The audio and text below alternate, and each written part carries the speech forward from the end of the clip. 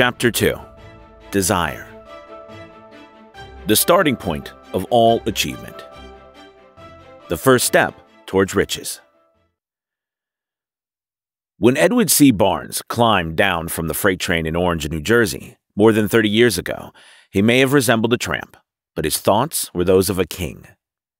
As he made his way from the railroad tracks to Thomas A. Edison's office, his mind was at work. He saw himself standing in Edison's presence. He heard himself asking Mr. Edison for an opportunity to carry out the one consuming obsession of his life a burning desire to become the business associate of the great inventor. Barnes' desire was not a hope, it was not a wish, it was a keen, pulsating desire, which transcended everything else. It was definite. The desire was not new when he approached Edison. It had been Barnes' dominating desire for a long time. In the beginning, when the desire first appeared in his mind, it may have been, probably was, only a wish, but it was no mere wish when he appeared before Edison with it. A few years later, Edwin C. Barnes again stood before Edison, in the same office where he first met the inventor.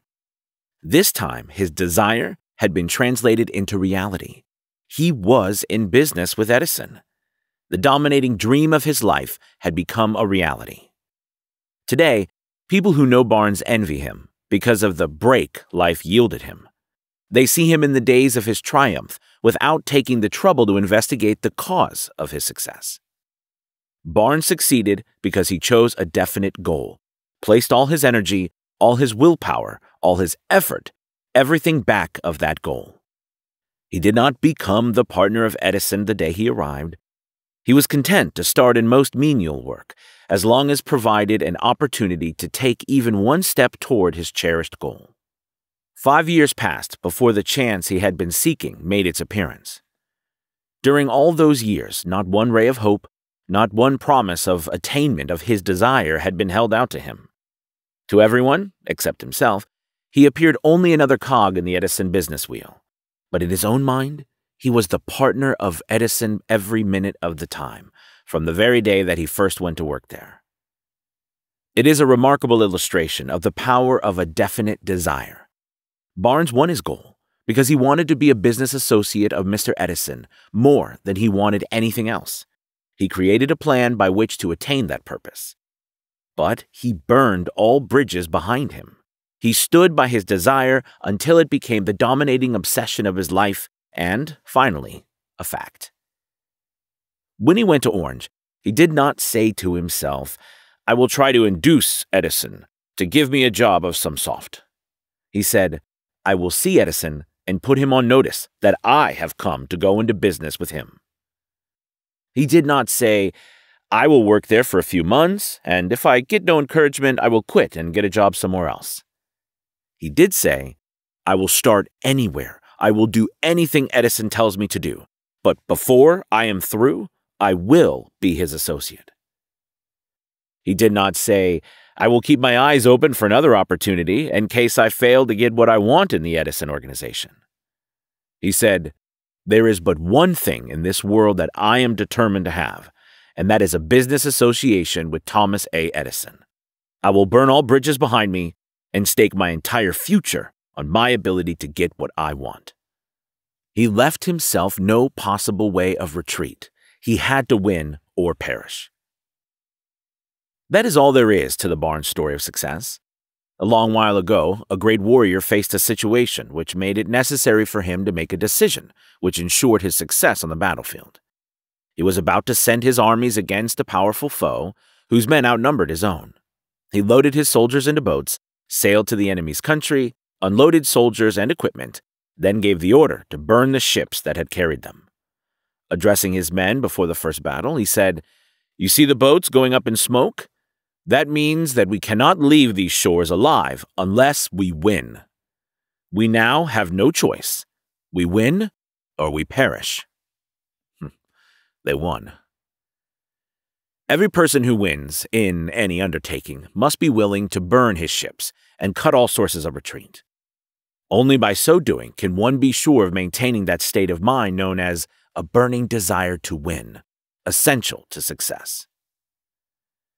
The morning after the Great Chicago Fire, a group of merchants stood on State Street, looking at the smoking remains of what had been their stores. They went into a conference to decide if they would try to rebuild or leave Chicago and start over in a more promising section of the country. They reached a decision, all except one, to leave Chicago. The merchant who decided to stay and rebuild pointed a finger at the remains of his store and said, Gentlemen, on that very spot, I will build the world's greatest store, no matter how many times it may burn down. That was more than 50 years ago. The store was built, it stands there today, a towering monument to the power of the state of mind known as burning desire. The easy thing for Marshall Field to have done would have been exactly what his fellow merchants did. When the going was hard and the future looked dismal, they pulled up and went where the going seemed easier. Mark well this difference between Marshall Field and the other merchants, because it is the same difference which distinguishes Edwin C. Barnes from thousands of other young men who have worked in the Edison organization. It is the same difference which distinguishes practically all who succeed from those who fail. Every human being who reaches the age of understanding of the purpose of money wishes for it. Wishing will not bring riches, but desiring riches with a state of mind that becomes an obsession, then planning definite ways and means to acquire riches, and backing those plans with persistence, which does not recognize failure, will bring riches. The method by which desire for riches can be transmuted into this financial equivalent consists of six definite, practical steps here. First, fix in your mind the exact amount of money you desire. It is not sufficient merely to say, I want plenty of money. Be definite as to the amount. There is a psychological reason for definiteness, which will be described in a subsequent chapter.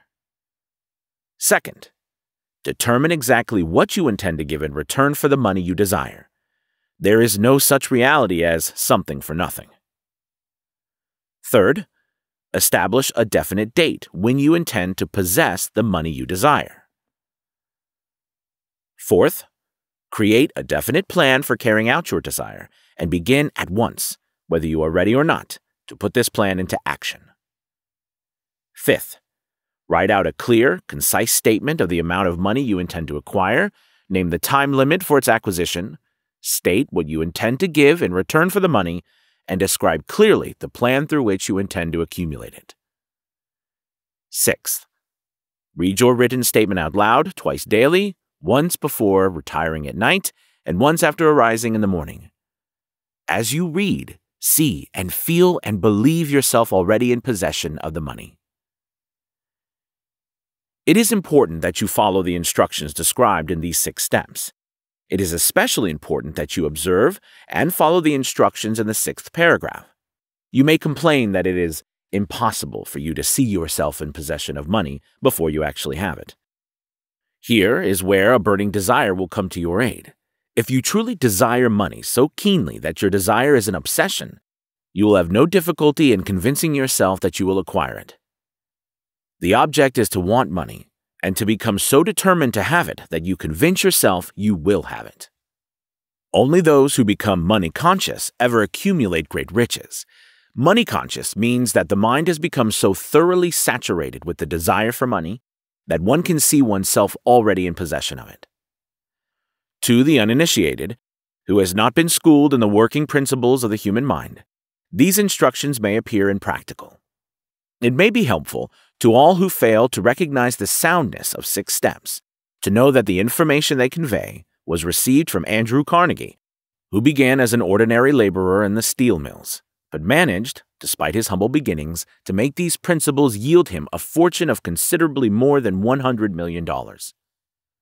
It may be of further help to know that the six steps here recommended were carefully scrutinized by the late Thomas A. Edison, who placed his stamp of approval upon them as being not only the steps essential for the accumulation of money, but necessary for the attainment of any definite goal. The steps call for no hard labor. They call for no sacrifice. They do not require one to become ridiculous or credulous. To apply them calls for no great amount of education. But the successful application of these six steps does call for sufficient imagination to enable one to see and to understand that accumulation of money cannot be left to chance, good fortune, and luck. one must realize that all who have accumulated great fortunes first did a certain amount of dreaming, hoping, wishing, desiring, and planning before they acquired money. You may as well know, right here, that you can never have riches in great quantities unless you can work yourself into a white heat of desire for money and actually believe you will possess it. You may as well know also that every great leader, from the dawn of civilization down to the present, was a dreamer. Christianity is the greatest potential power in the world today because its founder was an intense dreamer who had the vision and the imagination to see realities in their mental and spiritual form before they had been transmuted into physical form. If you do not see great riches in your imagination, you will never see them in your bank balance. Never in the history of America has there been so great an opportunity for practical dreamers as now exists. The six year economic collapse has reduced all men substantially to the same level. A new race is about to be run. The stakes represent huge fortunes which will be accumulated within the next 10 years. The rules of the race have changed because we now live in a changed world that definitely favors the masses. Those who had but little or no opportunity to win under the conditions existing during the Depression, when fear paralyzed growth and development. We who are in this race for riches should be encouraged to know that this changed world in which we live in is demanding new ideas, new ways of doing things, new leaders, new inventions, new methods of teaching, new methods of marketing, new books, new literature, new features for radio, new ideas for moving pictures. Back of all this demand for new and better things, there is one quality which one must possess to win, and that is definiteness of purpose, the knowledge of what one wants, and a burning desire to possess it. The business depression marked the death of one age and the birth of another. This changed world requires practical dreamers who can and will put their dreams into action. The practical dreamers have always been and always will be the pattern makers of civilization. We who desire to accumulate riches should remember the real leaders of the world always have been men who harnessed and put into practical use the intangible, unseen forces of unborn opportunity and have converted those forces, or impulses of thought, into skyscrapers, cities, factories, airplanes, automobiles, and every form of convenience that makes life more pleasant. Tolerance and an open mind are practical necessities of the dreamer of today. Those who are afraid of new ideas are doomed before they start. Never has there been a time more favorable to pioneers than the present.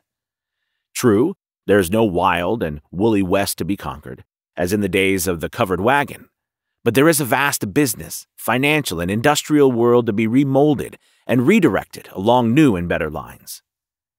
In planning to acquire your share of the riches, let no one influence you to scorn the dreamer.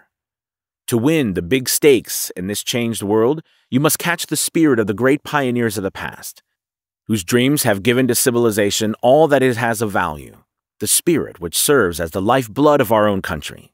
Your opportunity and mine to develop and market our talents.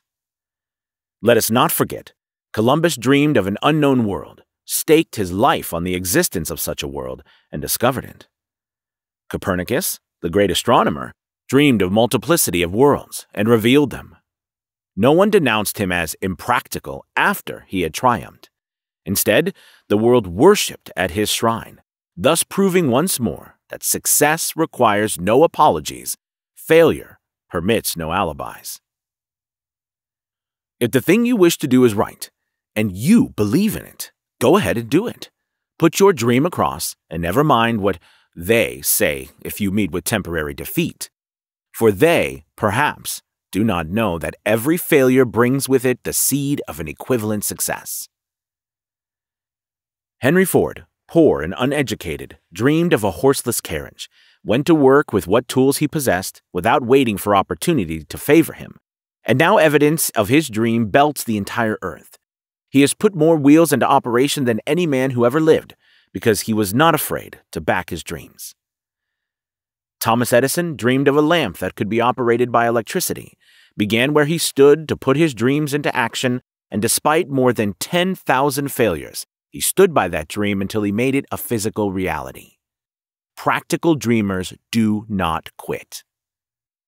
Whelan dreamed of a chain of cigar stores, transformed his dream into action, and now the United Cigar stores occupy the best corners in America. Lincoln dreamed of freedom for the black slaves, put his dream into action, and barely missed living to see a united North and South translate his dream into reality. The Wright brothers dreamed of a machine that would fly through the air. Now one may see evidence all over the world that they dreamed soundly.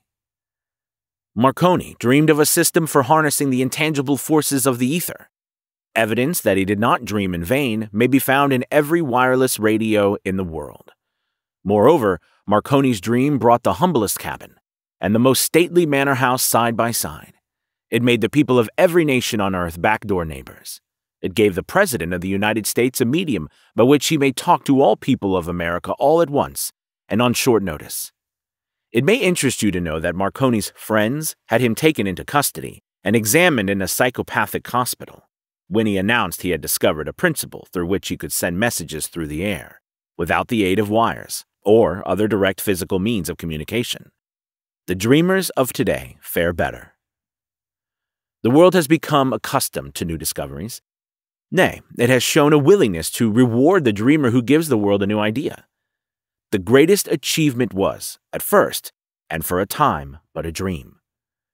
The oak sleeps in the acorn, the bird waits in the egg, and in the highest vision of the soul, a waking angel stirs. Dreams are the seedlings of reality. Awake, arise, and assert yourself, you dreamers of the world. Your star is now in the ascendancy. The World Depression brought the opportunity you have been waiting for. It taught people humility, tolerance, and open mindedness. The world is filled with an abundance of opportunity which the dreamers of the past never knew. A burning desire to be and to do is the starting point from which the dreamer must take off. Dreams are not born of indifference, laziness, or lack of ambition. The world no longer scoffs at the dreamer, nor calls him impractical. If you think it does, take a trip to Tennessee and witness what a dreamer president has done in the way of harnessing and using the great water power of America.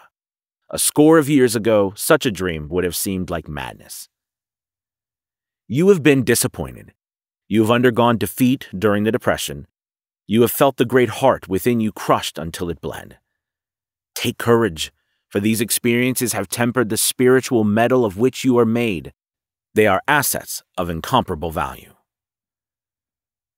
Remember, too, that all who succeed in life get off to a bad start and pass through many heartbreaking struggles before they arrive.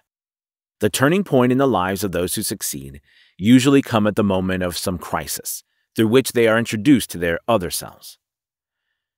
John Bunyan wrote The Pilgrim's Progress, which is among the finest of all English literature, after he had been confined in prison and sorely punished because of his views on the subject of religion. O. Henry discovered the genius which slept within his brain after he had met with great misfortune and was confined in a prison cell in Columbus, Ohio. Being forced through misfortune to become acquainted with his other self and to use his imagination, he discovered himself to be a great author instead of a miserable criminal and outcast. Strange and varied are the ways of life, and stranger still are the ways of infinite intelligence, through which men are sometimes forced to undergo all sorts of punishment before discovering their own brains and their own capacity to create useful ideas through imagination. Edison, the world's greatest inventor and scientist, was a tramp telegraph operator. He failed innumerable times before he was driven, finally, to the discovery of the genius which slept within his brain. Charles Dickens began by pasting labels on blacking pots. The tragedy of his first love penetrated the depths of his soul and converted him into one of the world's truly great authors. That tragedy produced, first, David Copperfield, then a succession of other works that made this a richer and better world for all who read his books. Disappointment over love affairs generally has the effect of driving men to drink and women to ruin, and this because most people never learn the art of transmuting their strongest emotions into dreams of a constructive nature. Helen Keller became deaf, dumb, and blind shortly after birth. Despite her greatest misfortune, she has written her name indelibly in the pages of the history of the great. Her entire life has served as evidence that no one ever is defeated until defeat has been accepted as reality. Robert Burns was an illiterate country lad. He was cursed by poverty and grew up to be a drunkard in the bargain. The world was made better for his having lived, because he clothed beautiful thoughts in poetry, and thereby plucked a thorn and planted a rose in its place. Booker T. Washington was born into slavery, handicapped by race and color. Because he was tolerant, had an open mind at all times, on all subjects, and was a dreamer, he left his impress for good on an entire race. Beethoven was deaf, Milton was blind, but their names will last as long as time endures because they dreamed and translated their dreams into organized thought. Before passing to the next chapter, kindle anew in your mind the fire of hope, faith, courage, and tolerance. If you have these states of mind and a working knowledge of the principles described, all else that you need will come to you when you are ready for it. Let Emerson state the thought in these words Every proverb, every book, every byword that belongs to thee for aid and comfort shall surely come home through open or winding passages. Every friend whom not thy fantastic will, but the great and tender soul in thee craveth, shall lock thee in his embrace. There is a difference between wishing for a thing and being ready to receive it. No one is ready for a thing until he believes he can acquire it. The state of mind must be belief, not mere hope or wish. Open mindedness is essential for belief. Closed minds do not inspire faith, courage, or belief. Remember, no more effort is required to aim high in life, to demand abundance and prosperity, than is required to accept misery and poverty.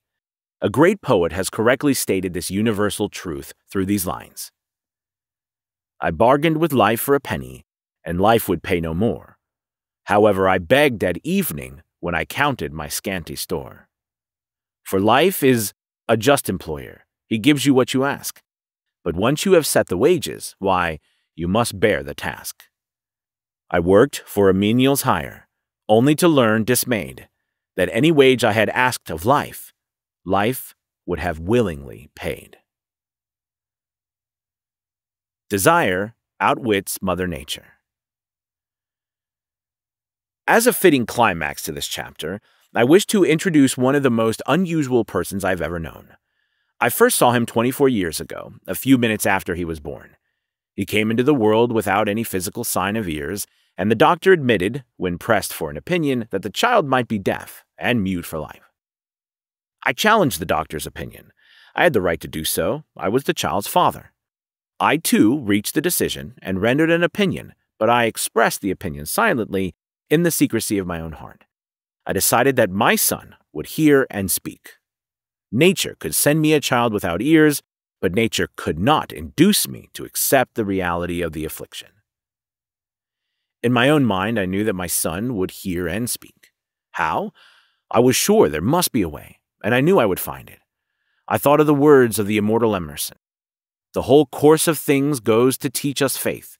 We need only obey.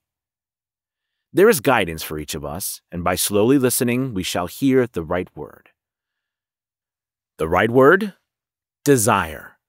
More than anything else, I desired that my son should not be a deaf mute. From that desire, I never receded, not for a second. Many years previously, I had written, Our only limitations are those we set up in our minds. For the first time, I wondered if that statement were true. Lying on the bed in front of me was a newly born child without the natural equipment of hearing. Even though he might hear and speak, he was obviously disfigured for life. Surely, this was a limitation which that child had not set up in his own mind. What could I do about it? Somehow, I would find a way to transplant into that child's mind my own burning desire for ways and means of conveying sound to his brain without the aids of ears. As soon as the child was old enough to cooperate, I would fill his mind so completely with a burning desire to hear that nature would, by methods of her own, translate it into physical reality. All this thinking took place in my own mind, but I spoke of it to no one. Every day I renewed the pledge I had made to myself not to accept a deaf mute for a son. As he grew older and began to take notice of things around him, we observed that he had a slight degree of hearing. When he reached the age when children usually begin talking, he made no attempt to speak, but he could tell by his actions that he could hear certain sounds slightly. That was all I wanted to know. I was convinced that if he could hear, even slightly, he might develop still greater hearing capacity. Then something happened which gave me hope.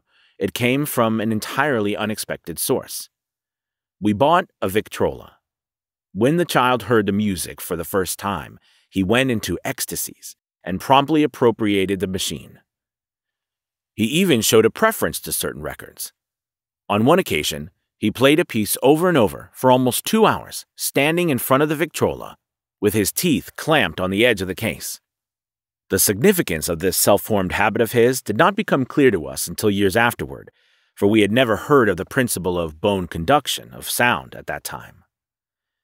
Shortly after he appropriated the Victrola, I discovered that he could hear me quite clearly when I spoke with my lips touching his mastoid bone, or at the base of the brain.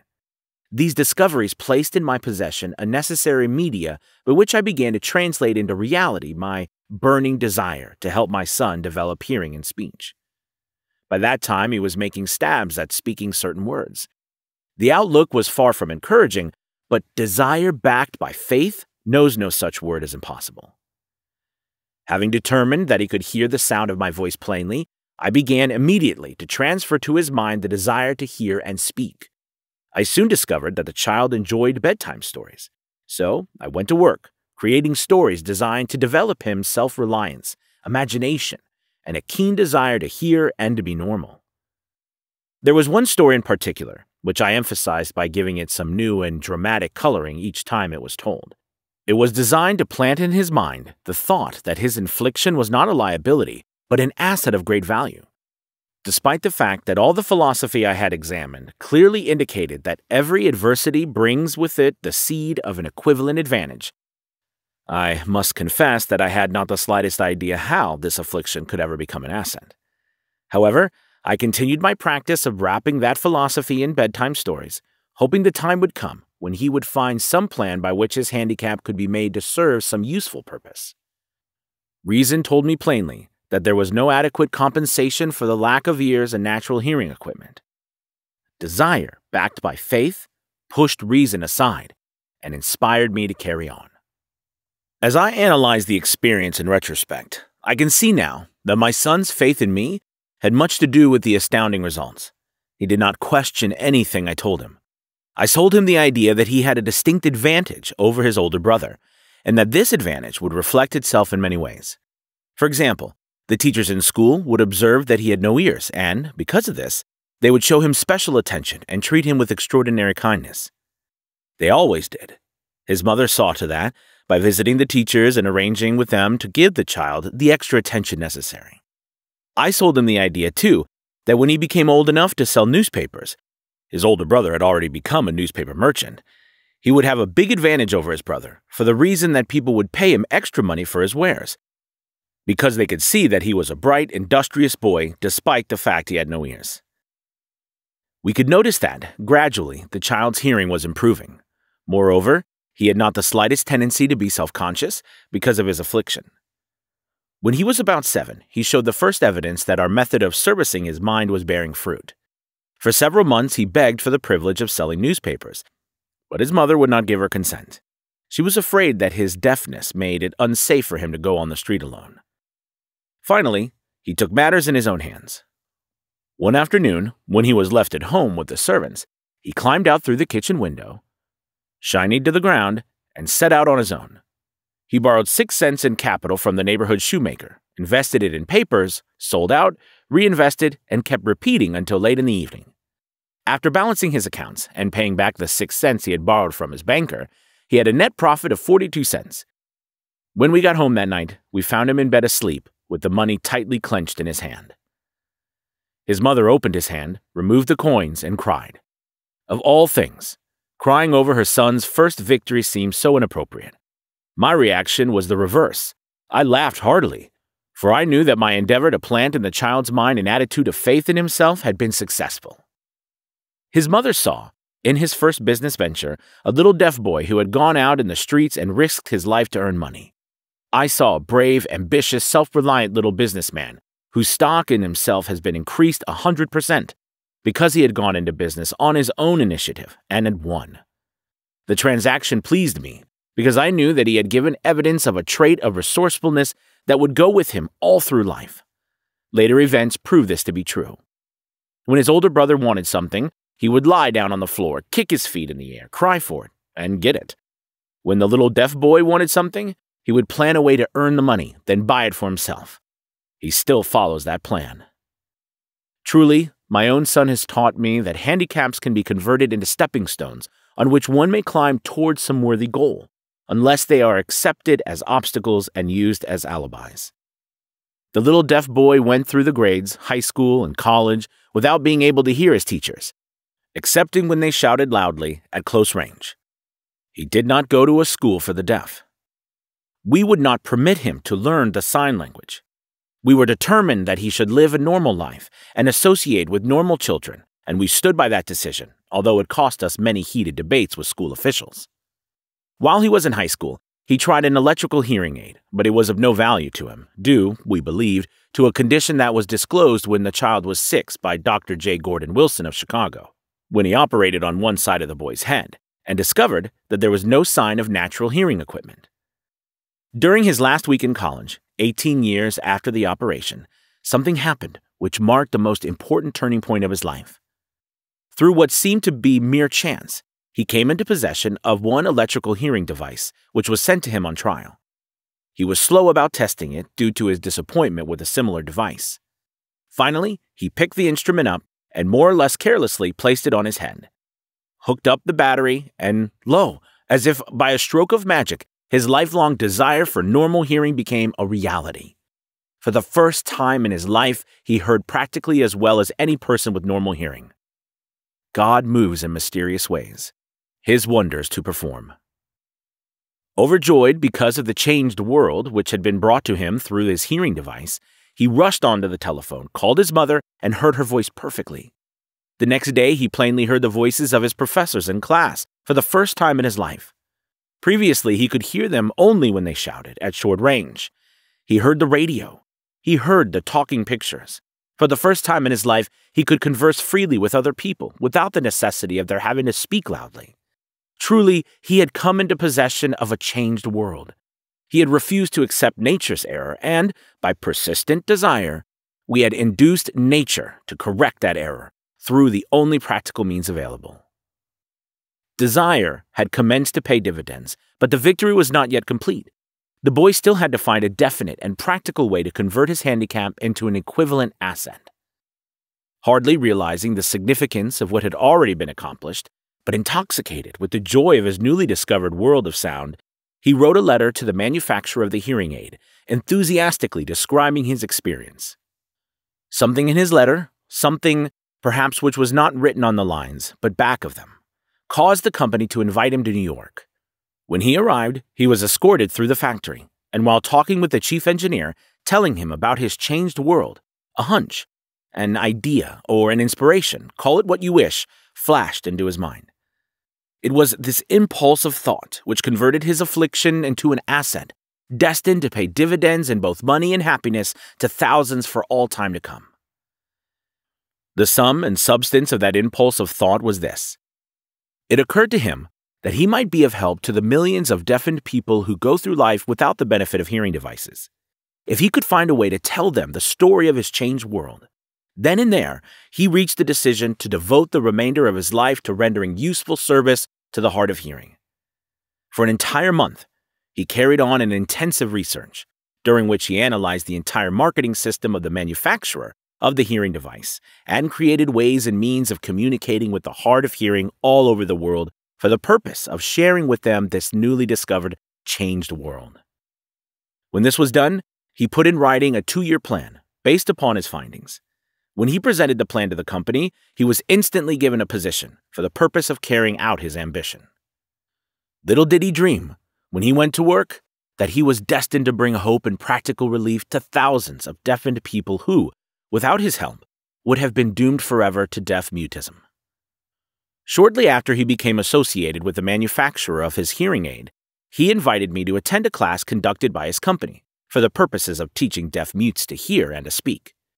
I had never heard of such a form of education, Therefore, I visited the class, skeptical but hopeful that my time would not be entirely wasted. Here I saw a demonstration which gave me a greatly enlarged vision of what I had done to arouse and keep alive in my son's mind the desire for normal hearing. I saw deaf mutes actually being taught to hear and speak through application of the self-same principle I had used more than 20 years previously in saving my son from deaf mutism. Thus, through some strange turn of the wheel of fate, my son, Blair, and I have been destined to aid in correcting deaf mutism for those as yet unborn, because we are the only human beings, as far as I know, who have established definitely the fact that deaf mutism can be corrected to the extent of restoring to normal life those who suffer with this affliction. It has been done for one, it will be done for others. There is no doubt in my mind that Blair would have been a deaf mute all his life, if his mother and I had not managed to shape his mind as we did. The doctor at his birth told us confidentially the child might never hear or speak. A few weeks ago, Dr. Irving Voorhees, a noted specialist on such cases, examined Blair very thoroughly. He was astounded when he learned how well my son now hears and speaks, and said his examination indicated that, theoretically, the boy should not be able to hear at all. But the lad does hear, despite the fact that X ray pictures show there's no opening in the skull whatsoever from where his ears should be to the brain. When I planted in his mind the desire to hear and talk, and live as a normal person, there went with that impulse strange influence which caused nature to become bridge builder and span the gulf of silence between his brain and the outer world, by some means which the keenest medical specialists have not been able to interpret. It would be sacrilege for me to even conjecture as to how nature performed this miracle. It would be unforgivable if I neglected to tell the world as much I know of the humble part I assumed in the strange experience. It is my duty and a privilege to say I believe, and not without reason, that nothing is impossible to the person who backs desire with enduring faith. Verily, a burning desire has devious ways of transmuting itself into its physical equivalent. Blair desired normal hearing. Now he hasn't. He was born with a handicap which might easily have sent one with a less defined desire to the street with a bundle of pencils and a tin cup. That handicap now promises to serve as the medium by which he will render useful service to many millions of hard of hearing, also to give him useful employment at adequate financial compensation the remainder of his life. The little white lies I planted in his mind when he was a child, by leading him to believe his affliction would become a great asset which he could capitalize, has justified itself. Verily, there is nothing, right or wrong, which belief plus burning desire cannot make real. These qualities are free to everyone. In all my experience in dealing with men and women who had personal problems, I never handled a single case which more definitely demonstrates the power of desire. Authors sometimes make the mistake of writing of subjects of which they have but superficial or very elementary knowledge. It has been my good fortune to have had the privilege of testing the soundness of the power of desire through the affliction of my own son. Perhaps it was providential that the experience came as it did, for surely no one is better prepared than he to serve as an example of what happens when desire is put to the test. If Mother Nature bends to the will of desire, is it logical that mere men can defeat a burning desire? Strange and imponderable is the power of the human mind. We do not understand the method by which it uses every circumstance, every individual, every physical thing within its reach, as a means of transmuting desire into its physical counterpart. Perhaps science will uncover the secret. I planted in my son's mind the desire to hear and to speak as any normal person hears and speaks. That desire has now become a reality. I planted in his mind the desire to convert his greatest handicap into his greatest ascent. That desire has been realized.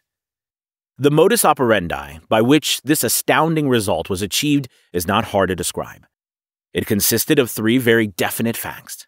First, I mixed faith with the desire for normal hearing, which I passed on to my son.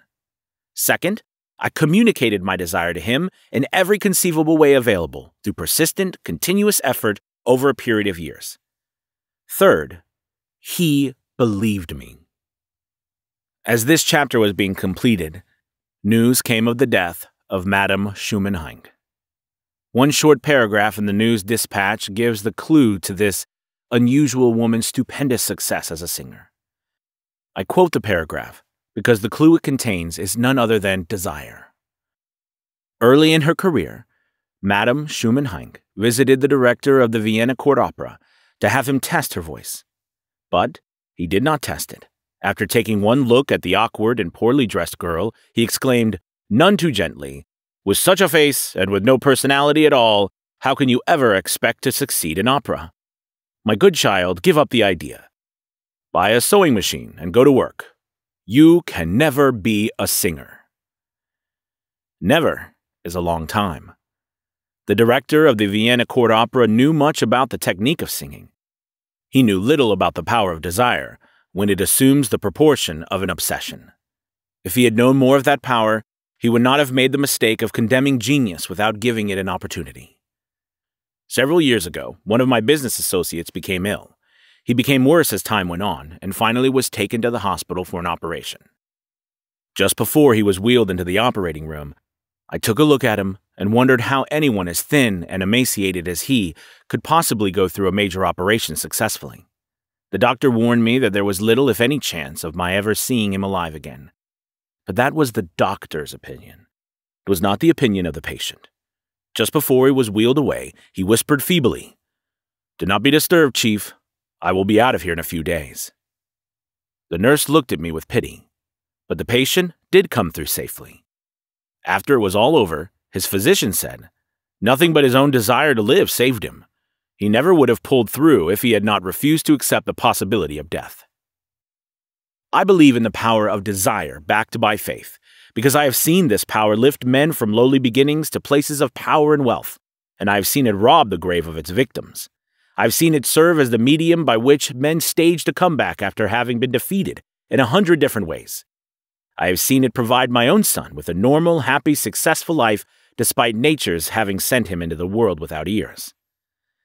How can one harness and use the power of desire? This has been answered through this and the subsequent chapters of this book. This message is going out to the world at the end of the longest and perhaps most devastating depression America has ever known. It is reasonable to presume that the message may come to the attention of many who have been wounded by the depression those who have lost their fortunes, others who have lost their position, and great numbers who must reorganize their plans and stage a comeback. To all these, I wish to convey the thought that all achievement, no matter what may be its nature or its purpose, must begin with an intense, burning desire for something definite. Through some strange and powerful principle of mental chemistry which she has never divulged, nature wraps up in this impulse of strong desire that something which recognizes no such word as impossible and accepts no such reality as failure.